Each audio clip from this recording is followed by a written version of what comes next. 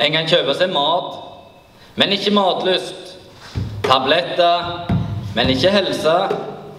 Mjuke senger, men ikke søvn. Lærdom, men ikke ved. Stas, men ikke skjønnhet. Glans, men ikke hygge. Moro, men ikke glede. Kamerater, men ikke vennskap.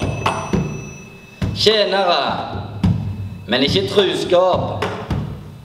Gråe hår, men ikke ære. Rolige dager, men ikke fred.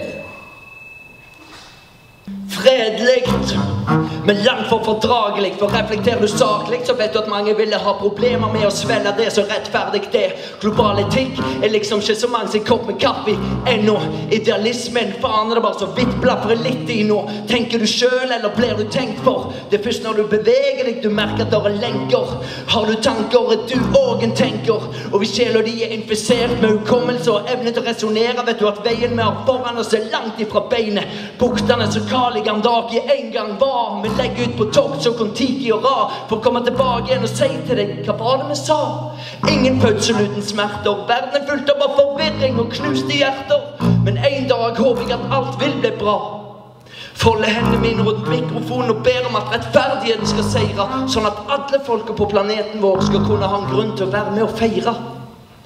Én planet, én kjærlighet.